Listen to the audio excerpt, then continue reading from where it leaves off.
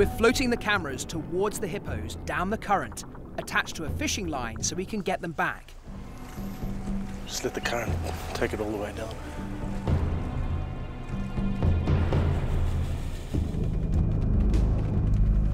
The hippos seem to be tolerating our presence. What they'll make of an alien object entering their lagoon is anyone's guess.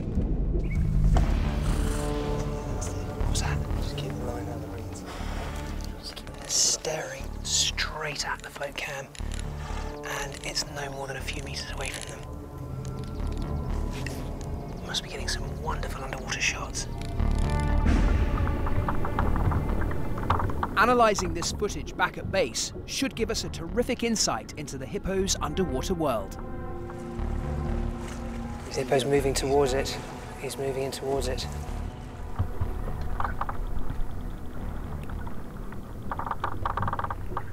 See this smaller hippo, could well be a female, is, is actually spy hopping. She's lifting a good portion of her body out of the water to get a better look at the float cam.